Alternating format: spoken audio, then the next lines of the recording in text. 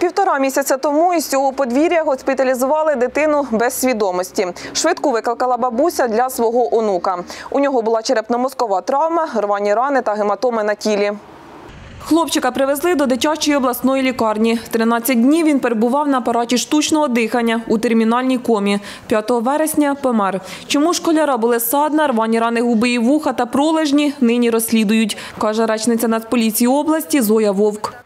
Шукають свідків, які б могли надати інформацію, що допоможе в розкритті даного кримінального правопорушення. Тому що на даний час ми маємо інформацію лише та, яка заявлена в соціальних мережах, але громадяни чомусь не спішать співпрацювати з поліцією, надавати письмові пояснення по даних фактах.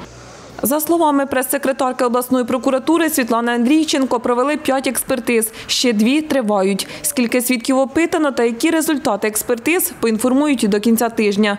Мати та вічим дитини спілкуватися із Суспільним відмовилися.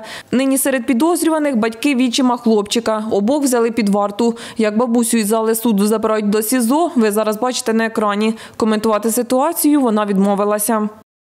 На даний час слідчі розглядають усі версії, в тому числі ту, про яку говорила бабуся у суді, тобто, що з її слів е, хлопчик впав з купи цегли. Поки досудове розслідування ще триває. 13 вересня містяни виходили на мирну акцію вимагати справедливого розслідування. Винних мають притягнути до відповідальності, каже черкащанка Тетяна Кобець. Чужих дітей не буває. Чужих дітей не буває, і ми не можемо бути осторонь. Померла маленька дитина, тому ми будемо до кінця слідкувати, як триватиме слідство. Тетяна Недбайло, Максим Шевченко. Новини на Суспільному. Черкаси.